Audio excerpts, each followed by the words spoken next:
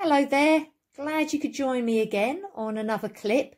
And today I'm going to read you a story called Someone Bigger. But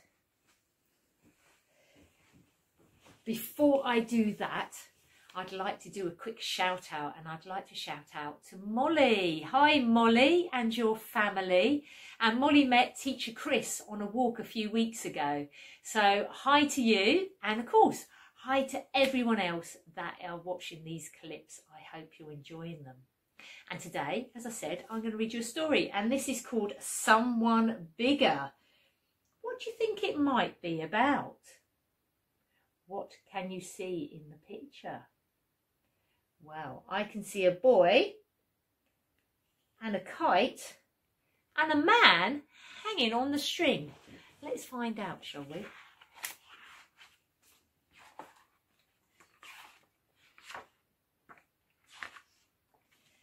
Someone bigger. Sam and Dad had made a kite. They'd made it large They'd made it light. They went out on a windy day to see if they could fly it. Can I hold it first? Can I, said Sam. I'm old enough, I know I am. No, you're too small, his dad replied. This kite needs someone bigger. Then Dad let go and launched the kite unwound the string and held it tight, while Sam stood by and watched and wished that he was someone bigger.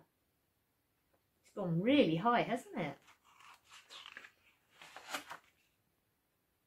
But the wind blew hard and the kite flew high and pulled Sam's dad into the sky. And Sam went running after. Can I hold it now? Can I? said Sam. I'm old enough, I know I am. No, you're too small, his father cried. This kite needs someone bigger. The kite flew up above the town where people tried to pull it down. A postman, there he is, with a sack of mail. A bank robber escaped from jail.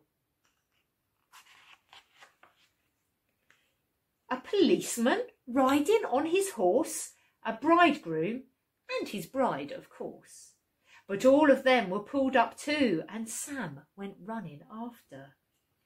Can I hold it now? Can I? said Sam. I'm old enough, I know I am. No, you're too small, the people cried. This kite needs someone bigger.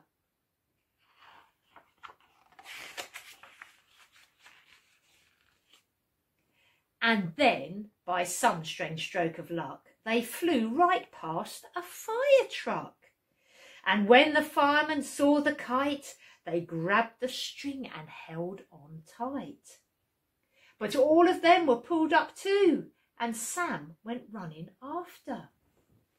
Can I hold it now? Can I? said Sam. I'm old enough, I know I am. No, you're too small, the fireman cried. This kite needs someone bigger. The kite flew on. It would not fall. It pulled a rhino from its stall. Wow, look at that.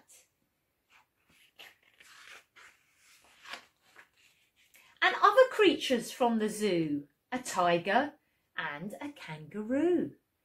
Yes, all of them were pulled up too, and Sam went running after. Can I hold it now? Can I? said Sam. I'm old enough, I know I am.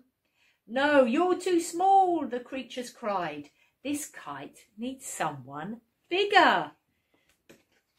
It must be a very windy day. But then Sam caught the kite at last. He grabbed the string and held it fast. And even though he wound and wound, his feet stayed firmly on the ground. And one by one they came back down, everyone from zoo and town. The rhino, tiger, kangaroo, the fireman, bride, and bridegroom too. The postman, robber, policeman, horse, and last of all, Sam's dad, of course. I'll hold it now, said Sam, because I'm old enough. I knew I was. I'm not too small, and as you see, this kite needs someone just like me.